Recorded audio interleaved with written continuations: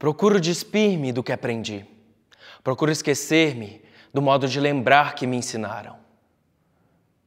Aguardo, equânime, o que não conheço, o meu futuro e o de tudo. Meu coração é como uma ovelha de duas patas, pedindo esmolas às portas da alegria. Percebeu algo em comum?